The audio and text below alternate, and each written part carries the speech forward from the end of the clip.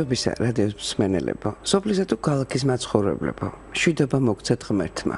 ყველას ამ ტერორიზმით გაჯერებულ დროში მშვიდობა ყველაზე აუცილებელი რამდა მშვიდობა საკმაოდ დიდი ფასი დაედო. სიკეთე სიხარული ბედნიერება ჯანმრთელობა მატერიალური კეთილდღეობა ხვავი და ბარაკა შრომის უნარი და თქვენი შრომის დაფასება მინდა გესურვოთ და კიდევ ერთიც უსურვეთ სხვას ის რაც თქვენ გსურთ რომ გისურვონ და უბრალოდ გიყვარდეთ ადამიანი. მიუხედავად ხშირ შემთხვევაში შურისა, იმედგაცრუებისა, ზოგჯერ ღალატისა, ზურგს ნო აქცევთ ამ ულამაზეს გრძნობას, რადგან დროს რომელშიც ჩვენ ცხოვრობთ, ყველაზე მეტად სიყვარული აკლია. მერწმუნეთ სიყვარული კარგი ვინმეა, რამე კი არა, ვინმეა, ჩემთვის ასეა ყოველ შემთხვევაში. და ნახეთ ყველაფერი როგორ აშენდეს და დამშვენდეს. ერთი სიტყვით, რაც გისურვეთ, ყველაფერი აქსრულებოდეთ. მე ჟურნალისტი თამარ ბოლკოძე ვარ, ეთერშია გადაცემა სოფლის დილა, საზოგადოებრივ რადიო რადიო 1-ზე, ტალღაზე FM 102 და 4. ჩვენი საკონტაქტო ნომრებია 240 91 92 და 240 92 92. დაგვირეკეთ, შეგვეკითხეთ, დაგვისეთ კითხვები თქვენთვის საინტერესო თემებზე და გაგვიზიარეთ თქვენი მოსაზრებები.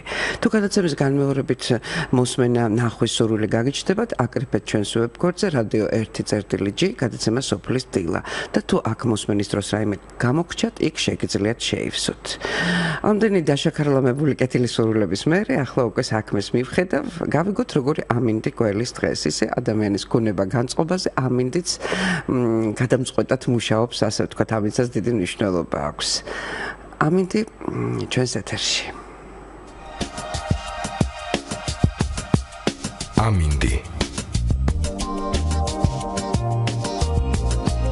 17 ივლისი ქვეყნის მასშტაბით მოსალოდნელია უნალი ქვამინდი. ახალ ციხე და ბორჯომი ღამით 20 დღისით პლუს 35. ბაკურიანი ღამით 14 დღისით 30.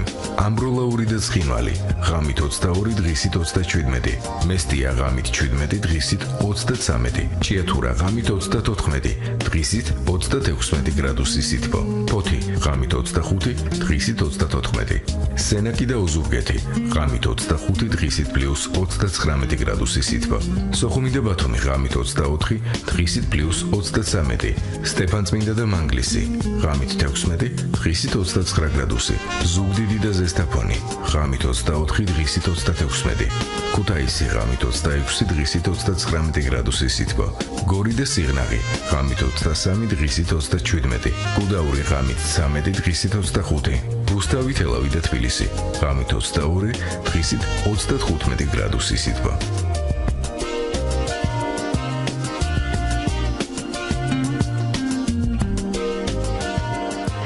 ახლა კი ჩვენი გადაცემის თავ თემას გაგაცნობ დღეს ჩვენ ვისაუბრებთ აგროდაზღვევაზე და რისკების მართვაზე.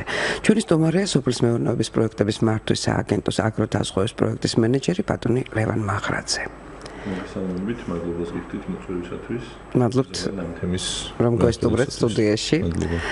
აგროდაზღვევის პროექტი უკვე ორი წელია, რაც მიმდინარეობს ბატონო ლევან, თუმცა საქართველოს ეს მაინც ახალი ხილია, მეტნაკლებად სოფლის მეურნეობის სამინისტროსა და ამ დარგში მომუშავე ორგანიზაციებს დღემდე აქტიურად უწევთ ამ პროექტების პოპულარიზაცია. როგორც ჩანს, ყველა ფერმერს ჯერ კიდევ არ აქვს ინფორმაცია მის შესახებ, ამიტომ საუბრის დასაწყისში კიდევ ერთხელ ავხსნათ რას ემსახურება ეს პროექტი და რა სარგებელი შეიძლება მოი მოიტანოს მან საერთოდ სოფლის მეურნეობისათვის. კი ბატონო, აუცილებლად დაახსნათ და გეთახმებით, ჯერჯერობით არ არის იმ დონეზე, ვთქვათ, ზოგადად დაზღვევის კულტურა საქართველოში, არა მარტო აგროდაზღვევის მიმართულებით, არამედ სხვა პროდუქტებშიც.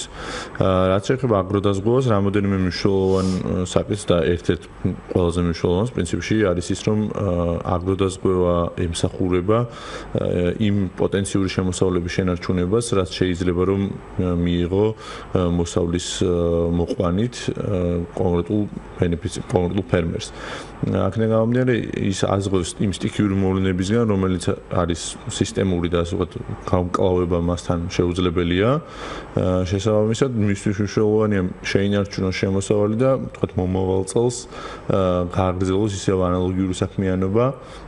და თქვათ მისი მცირე ბიზნესი და მცირე სამეწარმეო საქმიანობა არ დაზარალდეს კი ბატონო ისე რომ თქვათ ვეღარ შეძლოს ზოგადად არსებობა ჩვენ მე ჩამოვთვალოთ ეს სტიქიური რომელ სტიქიურ მასე არის საუბარი ეს არის დაუშვათ სეტყვა გვალვა და ასე შემდეგ მაგრამ მანამდე სხვა კითხვა მაქვს მე თქვენთან საერთოდ რა როლი აქვს თქვენი აზრით დაზღვევას აგროსექტორის განვითარებაში? უმნიშვნელოვანესი როლი აქვს იქიდან გამომდინარე რომ როგორც აღნიშნე შემოსავლის შენარჩუნება დაბრუნება, შემდეგ ასე ჯაჭვი ამ ჯაჭვის ერთ-ერთი მნიშვნელოვანი ნაწილია, ანუ რას გულისხმობ?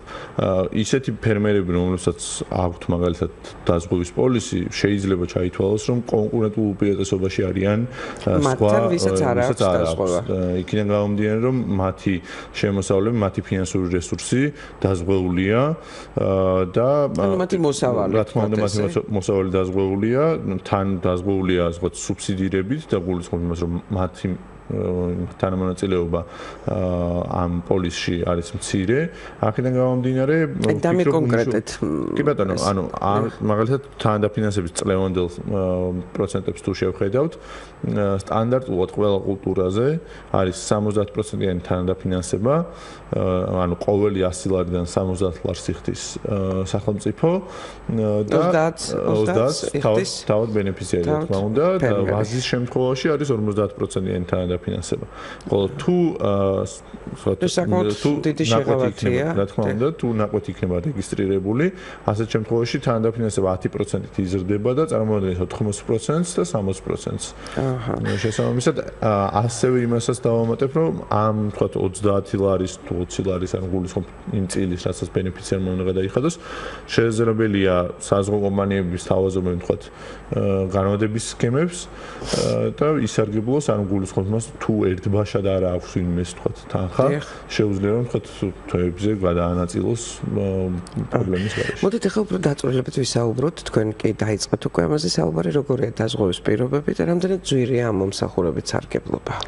კი ბატონო, დაზღვევის პირობები მოიცავს შემდეგს, ანუ როგორც აღნიშნეთ, 4 რისკიდან დაზღვევას, ჭარბინალექი, ხარიშხალი, საშემოდგომო ყინვა და სეტყვა რა თქმა უნდა. და საშემოდგომო ყინვა ეხება მხოლოდ ციტრუსს და არის მხოლოდ 1 სექტემბრიდან 30 ნოემბრის ჩათვლით და დანარჩენი სამი რისკი სტანდარტულია და ყველა კულტურაზე ეს რისკები მოდის ასე ვთქვათ. მაგრამ თუ დავაკვირდებით რეალურად ამ რისკებიდან 90% ანუ დამდგარი რისკებიდან არის სეტყვა. ეს იგი ყველაზე მეტი შემთხვევა არის ყველაზე მეტი შემთხვევა არის სეტყვის და არის ისეთ რეგიონებშიც კი როცა აქამდე არსებობდა ისტორიულად და ბენეფიციარების რაოდენობა იქ მცირე იყო იქიდან გამომდინარე რომ აი ეს ადამიანები იძახდნენ ჩვენთან არის ეს ალბათ ქართლს გულისხმობ ხო და მეხილე მეხილეობას. კი ბატონო ამის გულისხმობ ზუსტად და სამცხე ჯავახეთშიც იყო ვთქვათ ისეთი რისკები რომ ეს სეტყვის არეალი გაფართოვდა. კი ბატონო შეიძლება რაც შეეხება აი ისეთ მოვლენას როგორიც არის გვალვა მე რამდენად ვიცი გვალვაზე არ ეზღობა და აი რატომ ხშირად ხშირად გვეკითხებიან ხოლმე და გავცეთ პასუხი ამას. კი ბატონო გვალვა ერთ-ერთი მოთხოვნადი რისკია გულისხმობ იმას რომ ყველა ვისაც თქვა ვინც გაიგებს რომ არსებობს აგროდაზღვა აქვს კითხვა არსებობს თუ არა გვალვა გვალვის რისკის დაზღვევა საქართველოში ახლავს რამოდენიმე მნიშვნელოვანი პრობლემა, ანუ დავყოთ ორდანწილად ერთი პრობლემები, რომელსაც ახლავს თქვა ყველა სტანდარტულად ყველა ქვეყანას აქვს ამ ტიპის პრობლემა, გულისხმობ რას რომ გვალვა არის სისტემური რისკი, ბევრად უფრო მასშტაბური, ვიდრე ვიდრე თუნდაც ცოტა ასე ჩამოთვლილი რისკები. აქედან გამომდინარე, გვალვის რისკის მართვა არის ბევრად უფრო რთული, ბევრად უფრო მეტ ადამიანურ რესურსს მოითხოვს და გამოცდილებას შესაბამისია საჭირო, ანუ გულისხმობ იმას, რომ დაზიანება და ასე ვთქვათ, სცენარის მდგომარეობა სულ სხვანაირია ვიდრე ვთქვათ დასეტყვისას, დანაყოფის მდგომარეობა. ანუ შეფასება ჭირს, ხო? კი ბატონო, შეფასება ჭირს პირველ რიგში, სწორად აღნიშნეთ. მეორე, შეფასება რისკის თვითონ ზომის, ანუ რა გულისხმობ, რომ რა თანხა უნდა გადაიხადოს თითოეულმა ბენეფიციარმა იმისთვის, რომ დაიზღვის კვალუსგან. ესეც ერთ-ერთი მნიშვნელოვანი საკითხია და აქ თუ თქვა საზღვაო კომპანიები არის იქნებიან თქო გამოცდილების შესაბამის დონეზე და გულისხმობ იმას რომ თუ კონკრეტულად ზუსტ ტარიფს ანუ მიახლოებულს ზუსტ არ დათვლიან ასე შემთხვევაში შეიძლება რაღაც ფინანსური ზიანთან ჩვენ უკვე ყავს მსმენელი შეკითხვით დილამშვიდობისა მოგესალმებით. გისმენთ დილამშვიდობისა ქალბატონ თამარ მივესალმებით თქვენ სტუმარს. ერთი კითხვა მაქვს სტუმართან. დაგროვის სურვილი შემთხვევაში ვის უნდა მივმართოთ და რამდენად შვიდად უნდა ვიყოთ შემდეგ? კი ბატონო. მადლობთ კითხვისთვის. მადლობა კითხვისთვის. რაც შეეხება დაზღვევის პროცედურას თქვენ უნდა მიმართოთ საზღვო კომპანიას რომელიც არის ხუთი საზღვო კომპანია დღესდღეობით აგროდაზღვევის პროგრამაში ჩართული. ალდაგი GPI ჰოლდინგი IC ჯგუფი უნისონი და არდი ეს არის საზღვო კომპანიები რომელსაც შეგიძლიათ დააზღვიოთ. მათ ცხელხაზზე შეგიძლიათ მიმართოთ. ასევე ჩვენს სააგენტოს ცხელხაზზე შეგიძლიათ დაარეკოთ და ისინი უშუალოდ გადამისამართებენ ან თქვა თავად გადაგუგზავნიან საზღვო კომპანიას თქვენს მონაცემებს და ჩვენი ცხელი ხაზის ნომერი ან სოფლის მეურნეობის პროექტების მართვის სააგენტოს ნომერი გახლავთ 1501 ან 2470101 და შეეხება სანდობის მომენტს ჩვენი სააგენტოს მთავარი ფუნქცია გახლავთ მონიტორინგი ანუ იმ პროცედურების და ზოგადად იმ პროცესების სწორად შესრულება, რასაც მთავრობის განკარგულება ასე ვთქვათ მიუთითებს კი ბატონო საზღვო კომპანიებს. აქედან გამომდინარე ჩვენ უშუალოდ ვერთვებით, როდესაც რაიმე ტიპის პრობლემა საწყდება ბენეფიციარი, გულისხმობ ან თუნდაც პოლიციის აღებისას, ან ზარალის ანაზღაურებისას. ან ზარალის ანაზღაურების დროს ეხ. რამდენ ძვირი ამ მომსახურებით სარგებლობა? აა რაც შეეხება რაც შეეხება ზოგადად აგროდაზღვის ფასი არის ბევრად უფრო ძვირი ვიდრე სხვა სხვა პროდუქტებისა. აქედან გამომდინარე თითქმის არ არსებობს პრეცედენტი, სადაც სუბსიდირებული არ არის სახელმწიფოს მიერ ან სხვა დონორი ორგანიზაციის მიერ, რომელიმე ქვეყანაში აგროდაზღვის პროდუქტი. შესაბამისად საქართველოსიც სუბსიდირებულია, როგორც აღნიშნა, ეს სუბსიდირება უზრუნველყოფს იმას, რომ ბენეფიციარისთვის იაფი იყოს და ბევრად უფრო შეღავათები ვიდრე სტანდარტული. ძანეთ, რაც თქვენ ჩამოთვალეთ, ეხლა საკმაოდ შეღავათი, იმიტომ რომ სუბსიდირება საკმაოდ სერიოზულია, რომელიც ასფულ სამეურნეო კულტურები შეიძლება დავაზღვიოთ და არის თორე ესეთი კულტურა, რომელიც არის ღვევა. აა სასოფლო სამეურნეო კულტურასაც შეეხება 10 10 კულტურა რა არის ამ ამ ეტაპზე ჩვენს პროგრამაში და 22-მდე სახეობა უბრალოდ ქვე კულტურა ასე ვთქვათ.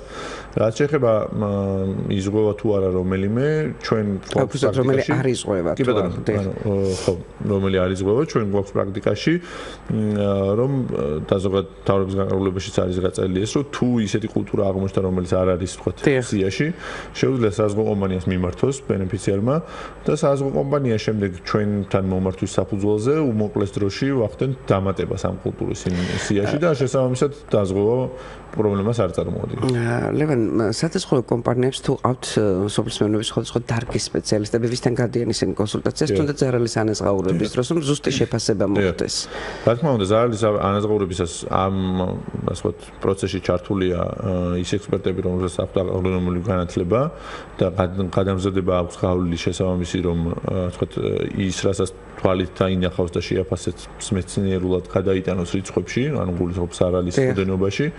აქედან გამომდინარე ზარალის ანაზღაურებისას ძალიან აქტიურად თანამშრომლობენ ამ ადამიანებთან და ესეც არის ერთ-ერთი მნიშვნელოვანი საკითხი. იქიდან გამომდინარე რომ საზღვაო კომპანიებს და ზოგადად საქართველოსში ამ ამ ესეთი ტიპის და ამ განათლების ადამიანების რომელმაც შეიძლება იარონ თქვა ექსპერტიზაზე არიან ძალიან ცოტა. აქედან გამომდინარე ადამიანური რესურსის პრობლემა გააჩნიათ საზღვაო კომპანიებს და ესეთი კადრები ჭირდება აგრონომი მაგრამ ეხლა ზუსტად ვერ დათვალო ხო ციფრებში ვერ გამო მოხატოს არალი და ნუ აი თუ მიდის მუშაობა და უშუალოდ ამ ამ მიმართულებით რომ აი ასეთი სპეციალისტი ყავდეთ სადაზღვევო კომპანიებს. დონორ ორგანიზაციასთან ერთად ჩვენ უკვე ჩაატარდა ასე ვთქვათ ორი გადამზადება. ეს საერთაშორისო დონორების დახმარებით ხდება. საერთაშორისო დონორების დახმარებით.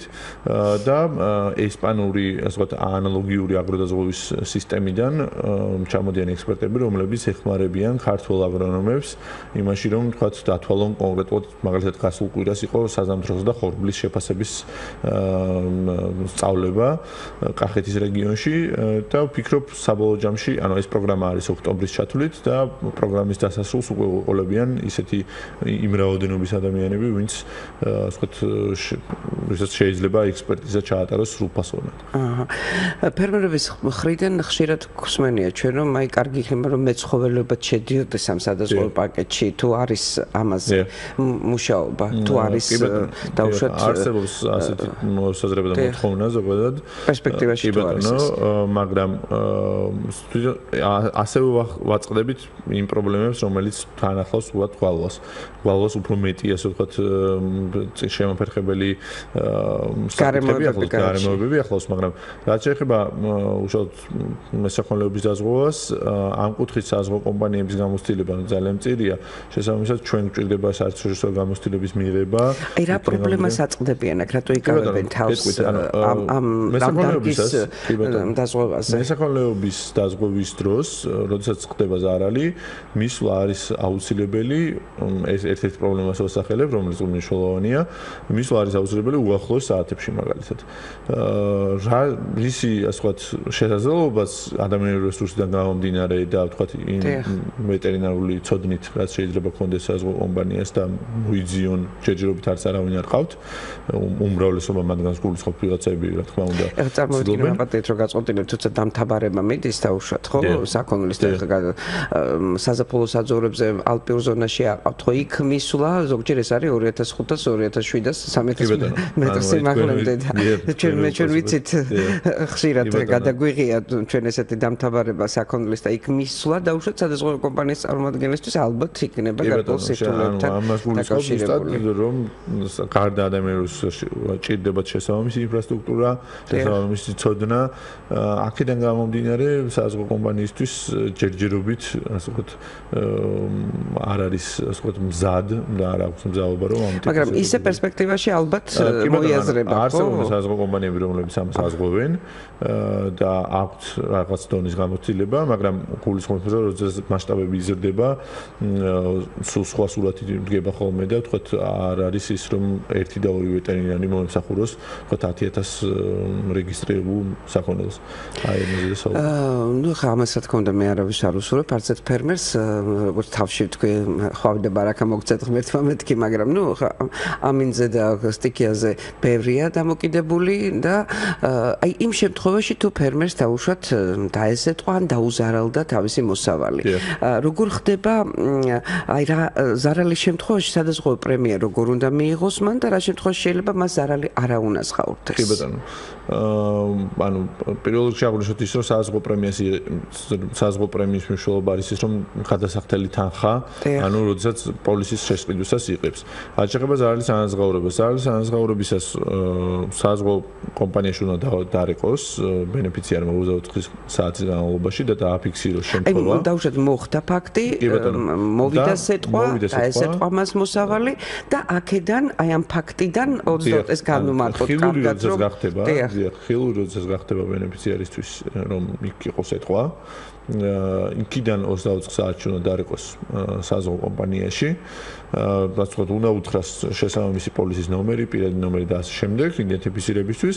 შემდეგ საზღვაო კომპანია გეგმავს უკვე ვიზიტს ბენეფიციართან და ეუბნება რომ თქვა თუ არის მოსავლის აღების პერიოდი აუცილებელია დატოვოს ნიმუშები, რადგან საზღვაო კომპანიამ მოახდინოს შეფასება ზარალის. აი როგორი იყო მანამდე და უშუალოდ სტიკიამდე და როგორი იყო შემდეგ?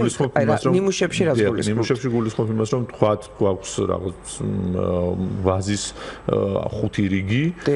აქედან თქვა ერთი რიგის დატოვება არის აუცილებელი და დანარჩენი შესაძლებელია მოიკრიფოს, იქიდან გამომდინარე რომ რეკომენდირებულიც არის ვინაიდან ზარალი არ გაიზარდოს მაგალითად. და არ მიაღწევს თქვა არ დაიწყოს პობა და ასე შემდეგ. აქედან გამომდინარე ეს პროცედურები მნიშვნელოვანია და მითითებულია პოლისის მეორე გვერდზე ასე თქვა, როგორ უნდა მოიქცეს ბენეფიციარი. ამის შემდეგ საზღვაო კომპანია შეაფასებს, შეაფასების აღწ დაწერს, შესაბამის პროცენტს გამოიყვანს და ბენეფიციარი უკვე ელოდება და საზღვაო კომპანიაც იმ პერიოდს, როდესაც დაიკრიფება მოსავალი და დადგინდება საბაზრო ფასი, იქიდან გამომდინარე, რომ საბაზრო ფასიდან გამოითვლება უშუალოდ ასანაზღაურებელი თანხა. გასაგებია. ჩვენ დაახლოებით ნაწილობრივ ამ საკითხს შევეხეთ, მაგრამ მე მაინც უფრო საფუძვლიანად მინდა ამაზე ვისაუბროთ, როგორ შეგიძლიათ შეაფასოთ ლევან სადაზღვევო კომპანიების თანამშრომლებისა და დაზღვევის აგენტების კვალიფიკაცია. ჩვენ უკვე თითქმის შევეხეთ ამ თემას, აგროსფერო საკმაოდ სპეციფიკური დარგი, ამიტომ საინტერესოა რამდენად აქვთ შესაბამისი ცოდნა, რომ სწორად შეაფასონ რისკები და ზარალი. ამას აქვს გადამწყვეტი მნიშვნელობა ფერმერისთვის. რა თქმა უნდა, გადამწყვეტი. ფერმერისთვისაც, სახელმწიფოსთვისაც, სადაზღვევო კომპანიისთვის, ანუ ყველა მხარისთვის. უკაცრავად ზარი გვაქვს, ჯერ უპასუხოთ და შემდეგ განვაგრძელოთ საუბარი. გისმენთ დილამშვიდობისა. გამარჯობა ქალბატონინო. აი თქვენ სტუმარ ვაშარო ცხოველების საქონლის დასვლა არსებობდა და გამოცდილება არ გქონდა. იყო გას საბჭოთა პერიოდში დასვლა ესეთი რომ თუ დაიღუებოდა საქონელი ეს მსხვერპლი ხასკოსანი ან დაახორი თქვა მაშინ საჭირო იყო ფეტაკიმის ცნობა თვითონ ფეტაკიმია შემოსულა მას და აგრეთვე სამი მოწმის ჩხენება მეზობლისა და რომზე შეჩაფლული ნაყოფი ყავს და თეზოში და ამის შედეგად ხებულოდა მე პატრონე ამის დასვლა დაზღვას იყო ორნაირი ერთი იყო დაზღვა ის მეცხრეს ორმაგ დაზღვას გებულობდა და აი ესეთი ამის აღდგენა რატო არ შეიძლება? გასაგებია მადლობთ კითხვისთვის დიახ. დიახ ანუ ეს რა თქმა უნდა ცნობილია რომ იყო ვთქვათ საბჭოთა დროს ამ ტიპის პროდუქტი მაგრამ თანამედროვე ასე ვთქვათ სტანდარტების და ამისთვის რა თქმა უნდა საზღვაო კომუნიკაცია სჭირდება შესაბამისი გადამზღოველი იმიტომ რომ ესეთ რისკების თავის თავზე აღება ზოგადად ქართული საზღვაო კომპანიები ჯერჯერობით არ უზრუნველყოფენ. აქედან გამომდინარე გადამზღოველის მოთხოვნა ამ გადამზღოველში გულისხმობ ევროპულ კომპანიებს რომელიც რომელიც ამ რისკებს თავისთავზე აიღებენ, მათ შესაბამისი მოთხოვნა და შესაბამისი სტანდარტებია დასაკმაყოფილებელი. აა თქვა თუ კონდათ და ალბათ კონდათ გამოსილება საბჭოთა დროს როგორ ემართათ ეს რისკები და რა ის გამოსილება შესაძლებელია იყოს გამოყენებადი, მაგრამ არა არ არა ვთქვათ იმ დონეზე რომ ჩვენ ვთქვათ გადავდგათ ნაბიჯი ამ კუთხით. საზღვაო კომპანიები. ანუ ჩვენ დაუბრუნდეთ ჩვენი საუბრის თემას, ესე იგი ჩვენ საუბრობდით საზღვაო კომპანიების თანამშრომლობის და დაზღვევის აგენტების კვალიფიკაციის შეფასებაზე. დიახ. რა თქმა უნდა აკმაყოფილებს ის თანამედროვე მოთხოვნებს. დიახ. კვალიფიკაციას რა თქმა უნდა ესე ვერ შევაფასებთ გულისხმობ რომ გადაჭრით ვერ ვიტყვით რომელი კომპანია ცუდია კარგია თუ რა არის მაგრამ თუ შევხედავთ ზოგადი სურათი თუ შევხედავთ დიახ ზოგად სურათს საზღვაო კომპანიებს ჭირდებათ ცოდნა და გამოცდილება ამ კუთხით. იქნება გამომდინარე რომ ამ მასშტაბის აგროდაზღვის პროდუქტები ამ მასშტაბის ამ რაოდენობის საზღვაო პოლისები აქამდე არ ხონდათ ხაცემული მასშტაბი რაც უფრო იზრდება მით უფრო იზრდება პროფესიონალიზმზე მოთხოვნა სპეციალისტებზე, კვალიფიცირებულ სპეციალისტებზე და ამიტომაც აღნიშნეთ, რომ თქვათ გადამზადება მიმდინარეობს მნიშვნელოვანი ისეთ კულტურებზე, რომელიც ყველაზე მეტად დაზღვევადია. როგორია სახელმწიფოს და კონკრეტულად თქვენი სააგენტოს თანამონაწილეობა ამ პროექტში? აა კი ბატონო, როგორც აღნიშნე. და ამავე დროს მაპატეთ რომ შეგაწყვეტინეთ, ამავე დროს მაინტერესებს აა თქვენ სტატისტიკური მონაცემებიც გექნებათ, აი რამდენი დაეზღვია წელს შარშანდელთან შედარებით ეს როგორი მაჩვენებელია და ასე შემდეგ. დიახ, აა რაც შეეხება მონაწილეობას, როგორც აღნიშნე, უპირველეს არის მონიტორინგი და ამ პროცესის გამჭვირვალედ წარმართვა აა და იმ ასე ვთქვათ სარგებელის მიღება რეალურად რაც უნდა მოხდეს გლეხმან ფერმერმა. კი ბატონო და შესაბამისად რაიმე პრობლემის წარმოქმნისას გთხოვთ რომ დაგვაშვიდეთ ცხელხაზე 2470101 ან 1501 და რაც შეეხება სხვა სხვა ფუნქციებს არის იგივე ვთქვათ პოპულარიზაცია ამ პროგრამის გულისხმობს იმას რომ რაც შეიძლება მეტი ადამიანის ჩართვა და ამ კუთხითაც ვთქვათ გვაქვს გაუმჯობესებული შედეგი. კიდევ გამომდინარე რომ შარშან ანაზღაურდა 14 მილიონი ლარი ასე ვთქვათ ეს ანაზღაურება არის თავარი ასე ვთქვათ მიზეზი პოპულარობის ანუ რამდენი ჰექტარი არის რამდენი ჰექტარია დაზღვეული დაზღვეული საქართველოს მასშტაბით. კი ბატონო, შარშან შარშან იყო დაზღვეული 23000 ჰექტარი საერთო ჯამში. წელს დღის მონაცემებით არის თუ არ ვცდები 10000 ჰექტრამდე და რაოდენობის ზარალი ანაზღაურდა. ზარალების ანაზღაურების კუთხით გაცემულია 14 მილიონი ლარი ხარშან და წელს ზარალების დათვლა მიმდინარეობს იმ კულტურებზე და ველოდებით საბაზრო ფასს, იმ კულტურებზე რომელზე ზარალი დადგა მაისში და ივნისში და გაცემული პოლისების რაოდენობით წელს უკვე გაცემულია 12000 პოლისამდე და აქტიურად მიმდინარეობს ეს პროცესი შარშანდელთან შედარებით, თქვათ ყოველდღიური გაყიდვებს თუ შევადარებთ, კვეთრად არის გაზრდილი ანალოგიურ პერიოდთან შედარებით. ну, ესე თანდათან შემოდის აგროდაზღვევის კულტურა, შეიძლება ეს უკვე ვთქვათ. რომელ რეგიონებში ყველაზე დიდი მოთხოვნა დაზღვევაზე და რა კულტურებზე? ყველაზე დიდი მოთხოვნა, რა თქმა უნდა, არის კახეთში. ბაზის დაზღვევის ყურძნის დაზღვევის მიმართულებით. შემდეგ უკვე მოდის შიდა ქართლის, სამეგრელო, აჭარა, აჭარაში გულისხმობ ციტრუს და ეს რეგიონები არიან, რომლებიც ასე ვთქვათ, იმის მიხედვით ისე კი რომელ რეგიონში რომელი კულტურა არის, უფრო გამოიკვეთა, იქნება გამომდინარე, ვთქვათ, ხეხილის კულტურის დაზღვევა ხდება შიდა ქართლში და ქვემო ქართლში. ვთქვათ ყურძენი რა თქმა უნდა კაფეში ციტრუსი აჭარაში მაგრამ მაინც პირველებმა მე მგონი მაინც მე ვენახებმა დაიწყეს. რა თქმა უნდა იმიტომ რომ მე ვენახებს ჰქონდათ რაღაცა ტიპის გამოცდილება იქამდე სანამ აგროდაზღვის პროექტიც იარსებებდა ოღონდ ძალიან თიძე ჩამოსათვლელი ბენეფიციარები გახლდათ მაგრამ მაგრამ ხა დაინახავს ერთი რომ დაუშვათ მეზობელი რომ დაინახავს რომ აი ამ ფერმერმა მიიღო მაგალითის მაგალითის ძალა კარგად მუშაობს. ლევან თქვენ უკვე ორი წელი აკვირდებით ამ პროექტის მიმდინარეობს თუ არის ისეთი დეტალები რომლის შეცვლაზეც მუშაობ და როგორი გამოხმაურება გაქვთ ფერმერებისაგან? აა კი ბატონო მან პროექტი დაწყების დღიდან ასე ცვლილებებს განიცდის გულისხმობს რომ 2014 წლის 1 სექტემბერს დაიწყო და უკვე სამი მთავრობის განკარგულება გამოიცა ამ პროექტისთვის და სამი განკარგულება გაუმჯობეს ფიქრობთ რომ გაუმჯობესებულია ანუ ერთმანეთზე უკეთესი პროცედურების თვალსაზრისით დახვეწა დაიწყება. კი ბატონო, იმიტომ რომ თვითონ პრაქტიკიდან გამომდინარე ბევრად უფრო მეტ ასე ვთქვათ, მნიშვნელოვან დეტალს ხედავ, ვიდრე თავიდანვე გაითვალისწინებ. თავიდან ყოველთვის განსაზღვრო და გათვალისწინება ძნელია. ძალიან დიდი მადლობა ესეთი ამომწურავე საუბრისათვის. ამ საუბრი ჩვენ შევეცადეთ კიდევ ერთხელ აგვეხსნა ჩვენი მსმენელებისა და დაინტერესებული პირებისათვის, კონკრეტულად გლეხებისთვის, ფერმერებისთვის, ყველა იმ ადამიანისთვის, ვინც სოფლის მეურნეობაში არის ჩართული თავის საქმიანობით, აგროდაზღვევის მნიშვნელობა და საჭირო საჭიროება. ჩვენი სტუმარი იყო სოფლის მეურნეობის პროექტების მართვის სააგენტოს აგროდაზღვევის პროექტის მენეჯერი ბატონი ლევან მახრაძე. მადლობა. კარგად ზამდებოდეთ, მადლობთ. განმეორებთ გადაცემას. არ გამოგრჩეთ დღეს 12 საათზე და 45 წუთზე აუცილებლად ნახეთ გადაცემა ფერმა. ნამდვილი მესხური ამბავი, ტენილი ყველის დიდოსტატი და წინაპართა ტრადიციების მცველი ფერმერი ქალი გალინა ინასარიძე. მერწმუნეთ ძალიან კმაყოფილი დარჩებით ამ გადაცემის ნახვის შემდეგ.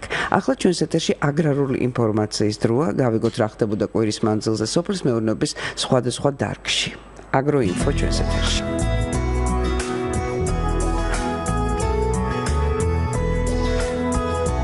აგროინფო მუხურში მეფუტკრეობის თანამედროვე ტექნოლოგიებით აღჭურვილი სამეცნიერო კვლევითი ბაზა გაიხსნება. სანაშენე ბაზის ინფრასტრუქტურის მოწყობა გასულ წელს დაიწყო და უახლოეს მომავალში დასრულდება. სარეაბილიტაციო სამუშაოების დასრულების შემდეგ მუხურში თანამედროვე სამეცნიერო ტექნოლოგიებით და ლაბორატორიული მოწყობილობებით აღჭურვილი კვლევითი ბაზა იქნება, რაც სპეციალისტებს ქართული ფუტკრის თვისებებზე ფართო მასშტაბიანი კვლევების წარმოების საშუალებას მისცემს. აღსანიშნავია, რომ სოფლის მეურნეობის სამეცნიერო კვლევითმა ცენტრმა გასულ წელს ჩხოროწყუსა და წალენჯიხაში მეგრული პოპულაცია ოპერაციის ფუტკრის ოჯახები მოიწია. ამჟამად მათ ჯიშობრივად წმენდნენ ახლო მომავალში აღნიშნული ფუტკრის ოჯახები საქართველოს სხვადასხვა რეგიონში გავრცელდება. ქართული ფუტკრის მეგრული პოპულაცია მსოფლიოში გამოირჩევა ხორთუმის სიგრძით, რომელიც ყველაზე ღრმად აღწევს ყვავილის სანექტრეში და იღებს თაფლისათვის საუკეთესო შემცველობის ნივთიერებებს. ქართული სუნელი ექსპორტზე გასასვლელად ემზადება, ესეც ალბათ ძალიან საინტერესო ინფორმაცია ჩვენი მსვენელებისათვის, როგორც მწარმოებელი კომპანიის ხელმძღვანელი საზაფეჟანიშვილი აღნიშნავს, მოლაპ მოლაპარაკებები რამდენიმე ქვეყანასთან, მათ შორის უკრაინასთან და პოლონეთთან მიმდინარეობს. იგი უკრაინა უკრაინა და პოლონეთი ქართულ სუნელებს დააგემოვნებენ უახლოეს მომავალში. ბეჟანიშვილის ინფორმაციით მოლაპარაკებების დასრულების შემდეგ საწარმოს გაფართოება და დასაქმებულთა რაოდენობის გაზრდაც იგეგმება. ამ ეტაპზე კომპანია პროდუქციის რეალიზაციას ადგილობრივ ბაზარზე თბილისსა და რეგიონებში ახდენს. საზაბეშანიშვილის ინფორმაციით საწარმოში თითქმის ყველა დასახელების ქართული სუნელი მზადდება. ესენია ორეგონი, მწვანე აჯიკა, მდოგვი და სხვადასხვა ტრადიციული ქართული კერძების სუნელები. კომპანია სუნელი 2 წლის წინ გაიხსნა საწარმოში. საწარმო თბილისში მდებარეობს და მასში ამ ეტაპზე 6 ადამიანია დასაქმებული. მიწის ნაკვეთების პრივატიზების ხელშეწყობის პროგრამა იწყება. თავრობის დღევანდელ ხდომაზე ფიზიკურ პირთა ფაქტობრივ მფლობელობაში არსებული სასოფლო სამეურნეო დანიშნულების მიწის ნაკვეთების პრივატიზების ხელშეწყობის სახელმწიფო პროგრამა განიხილება. პროგრამის შესახებ პრემიერ-მინისტრმა გიორგი კვირიკაშვილმა ხდომის დაწყების წინ ისაუბრა. მისი განმარტებით მთელ რიგ მაღალმთიან რეგიონებს მიწის რეფორმა, რომელიც გატარდა 90-იან წლების ბოლოს არ შეხებიათ. გიორგი კვირიკაშვილის თქმით, ამ ეტაპისათვის განსაზღვრულია იმ მაღალმთიანი დასახლებების ჩამონათვალი, სადაც არ ჩატარებულა მიწის რეფორმა. შესაბამისად, სწორედ ამ დასახლებებზე გავრცელდება აღნიშნული პროგრამა. საუბარია მესტიის, თიანეთის, ახმეტის, დუშეთის, ფასანაურის, ხევსურეთის, გუდამაყრის, ანანურის, უკანაფშავისა და ქვეშეთის კონკრეტულ სოფლებზე.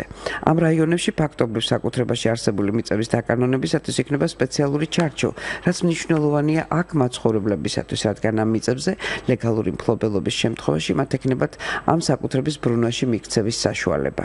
პროგრამის ამოქმედება სოფლის მეურნეობის განვითარებისათვის, ადგილობრივი მაცხოვრებლებისათვის და ეკონომიკური მდგომარეობის გაუმჯობესებისათვის ძალიან მნიშვნელოვანია, განაცხადა გიორგი კვირიკაშვილმა.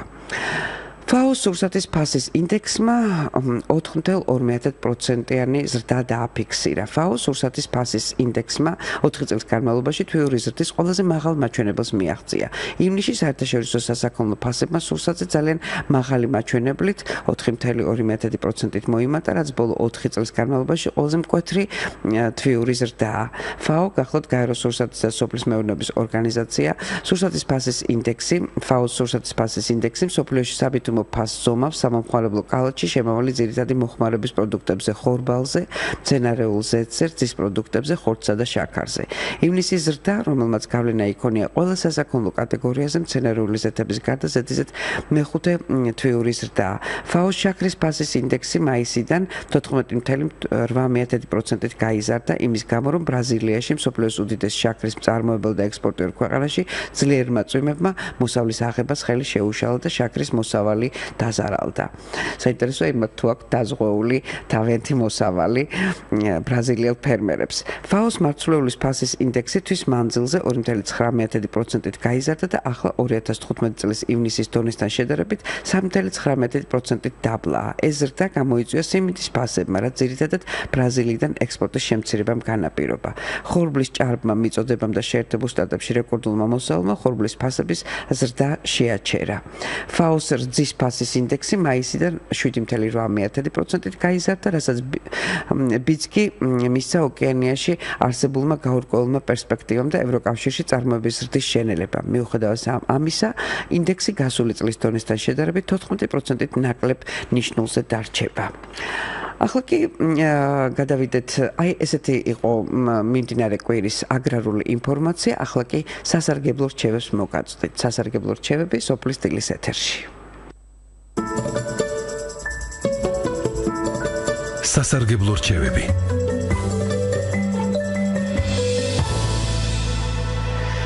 დღეს სასარგებლო რჩევას გაგაცნობთ პომიდორის განაყოფიერ განოყიერების ხალხური საშუალებები და რეცეპტები. ანუ როგორ უნდა გავანოყიეროთ ხალხური მეთოდებით პომიდორი. პომიდორის კვება შეიძლება არა მარტო მზასასუქებით, არამედ ხალხური რეცეპტებით, ნატურალური ბუნებრივი განოყიერების საშუალებებითაც. მცენარის სწორი კვება სხვა ფაქტორებთან ერთად განაპირობებს კარგ ყვავილობას, ნაყოფიერებას, ჯანმრთელ და ხარისხიან მოსავალს. როგორც წესი, პომიდორის პირველი გამოკვება ხდება ჩითილის გადარგვიდან 2-3 კვირის შემდეგ. ეს ეხება როგორც დახურულ, ისე ღია გრუნტში გამოზრდილ ჩითილებს. მთელი ვეგეტაციის პერიოდში 3-4ჯერ კვებავენ საშუალოდ 12-14 დღიანი ინტერვალით. თავზოთ პომიდრის კვების რამოდენიმე ესეთ ხალხურ მამაპაპურ საშუალებას. იოდით გამოკვება. იოდი არა მარტო აჩქარებს ნაყოფის მომწიფებას, არამედ ფიტოფთოროზისაგან თავის დაცვის პრევენციის ერთგვარი საშუალებაცაა. რეცეპტი ასეთია: 10 ლიტრ ნადგამ წყალში აზავებენ 4 წვეთ იოდის ხსნარს, მიღებული ხსნარი უნდა დავუსხოთ მცენარეს 1 ძირზე 2 ლიტრის გათვლით. ნაცრით გამოკვება. ფოთლოვანი ხის ნაცარი შეიცავს 3.5%-იან ფოსფორს, 10%-იან კალიუმს და 30%-იან კალციუმს, ხოლო წიწვოვანი ხის ნაცარი შესაბამისად 2.5%-იან ფოსფორს, 6%-იან კალიუმს და 35%-იან კალციუმს. რეცეპტი მომზადებისა ასეთია: ნაცრის ხსნარს ასე ამზადებენ 10 ლიტრ წყალში, გახსნიან 1 ჭიქა, ასე 150-200 გრამ ნაცარს ნაცარს მიღებულ სითხეს გავაჩერებთ 1 კვირა და შემდეგ დაუსხამთ პომიდორს. დაახლოებით 9 ლიტრი ერთ მცენარეზე. ნაცარი გამოიყენება მცენარეთა ფესვგარეშე კვებისთვისაც. შემდეგი რეცეპტი ამისთვის იღებენ 300 გრამ ნაცარს, ხსნიან მას 3 ლიტრ წყალში, ადუღებენ 30 წუთი, შემდეგ აჩერებენ 5 საათი და უმატებენ 50 გრამ სარეცხს საპონს 72%-იანს. მიღებულ სითხეს გაწურავენ და ასხურებენ მცენარეს. ქათმის ნაკელით, ანუ სკორეთი გამოყვება. ქათმის სკორე მცენარეებზე კომპლექსურ მინერალურ სასუქზე ნაკლებად არ მოქმედებს. მასში ბევრია აზოტი და ფოსფორი.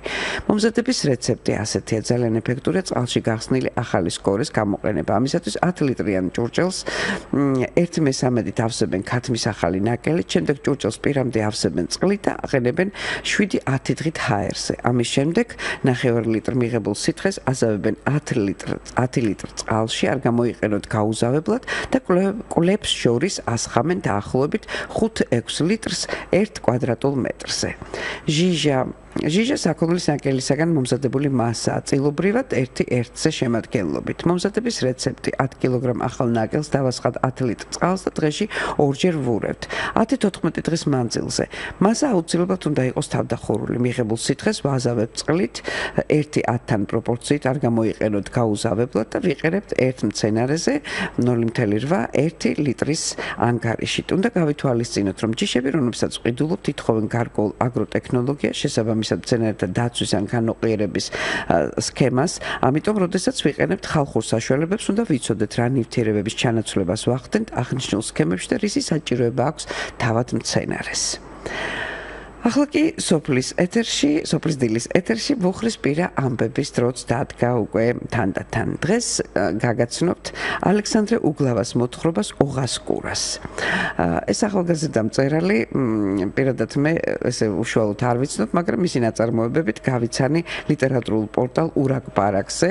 ის ხშირად დებს ხოლმე იქ თავის მოთხრობებს და ძალიან კარგი გამოხმაურებაც აქვს ამ ლიტერატურულ პორტალზე მის ნაწარმოებს. წავიკითხე მომე მოეწონა და ახლა თქვენც მინდა გაგიზიაროთ ოღასკურა მოწყდა ცას ვარსკვლავი ოღა ჩავარდა მდინარეში. ამოვიდა მდინარიდან ქალი ცეცხლოვანი თმებით და ციმციმა თვალებით. შეუშვირა მზესტანი და წყლის წვეთები შეიშრო გაუწვდინა ტირიფმა ტოტი აიტატა გადახედა ქალმა სამყაროს. შორს პირი დაეღო მთას წავიდა ქალი მთისკენ შევიდა გამოქვაბულში უზარმაზარ ლოც გადააყარა თმები და ცეცხლი წაუკიდა სითბომ აუვარდისფერა კანი თითქოს ადამიანის სიცივეში ლაპარაკობსო. ისე გამოდიოდა ქვაბულიდან ყვამლი ამოკაწრა ქალმა კედელზე თავის სახელი. უზარმაზარი ცხოველები დარბოდნენ ტყეში. მიწას ღრმად რჩებოდა მათი ნატერფალი. თავისი ქურა ჰქონდა ოღას. ცეცხლის ეშინოდათ მხეცებს. ცასუყურებდა ამირან იმ ხრიდან რომელზეც მზე ეხატა. მოიხსნა მშვილდე ამოარჩია ყველაზე ფერადი ვარსკვლავი და სტყორცნა წავიდა ამირან ვარსკვლავის საძებნად, მიადგა მდინარეს, ჩაიხედა შიკ, ამოიღო მდინარიდან ორი ღერი ცეცხლოვანი თმა. შეიბა ორი ვმაჯაზე, გაუწვდინა ტირიფმა ტოტი, ვერ მოერია სიმძიმეს. წავიდა ამირან სხვა გზით, მიადგა კლდეს, მიაწვა იმ ხრით, რომელზეც თვარე ეხატა, წააქცია. მიადგა მეორე კლდეს, მიაწვა ორივე ხელებით და გადააქცია. მიადგა მესამე კლდეს, ვერ უყოცრა. დაიწყო ასვლა მოექცა მწვერვალზე გადაიხედა. ძალიან შორს გამოქვაბულიდან კვამლი ამოდიოდა მიხვდა აცდენოდა გზას ბრაზისგან კლდეს მუჭები დაკრა. ცას ყავდა თავის ბატონი. ბატონს არ უნდოდა ის რაც ცაზეა მიწაზეც ყოფილიყო. გამოვიდა დილით ბატონი ღრუბელზე. ხედავს ერთი ვარსკვლავი აკლია. ვარსკვლავის ადგილზე ისარია დარჭობილი. დაყნოსა ბატონმა ისარს და იგძნო ამირანის სუნი. გადაიხედა ძირს. ამირანი მის ვარსკვლავს ეძებს. მწვერვალზე დგას და უკვე თითქმის იპოვნა კიდეც. დაკრა ბატონმა კვერთხი დაეტაკა ღრუბელი ღრუბელს იღრიალა ცამდა ისროლა ცეცხლოვანი ისარი წამოვიდა ისარი და დაეცაკლდეს. დაკრა მუჭები და ვერცერთი ვეღარ მოაცილა. ცეცხლოვან თმებს კლდეში გაედგათ ფესვები დაძაბა ამირანმა ხეული ვერ გაწყვიტა ერთი ღერითმა იქანცება ამირან ვერერევა ქალის თმას იცის მისი ვარსკვლავი სადაცაა მიაგნო, მაგრამ იქამდე ვერ მისულა. მისი სატრფოს თმებით ვე მიაბას კლდეს. გაიხსნა ცა, გადმოფრინდა არწივი. მიფრინდა არწივი ოღასთან გამოქვაბულში, მიუტანა ნაღველი. შემოდგა ქურაზე ნაღველი ოღამ, მოუყვა ნახველმა ყველაფერი.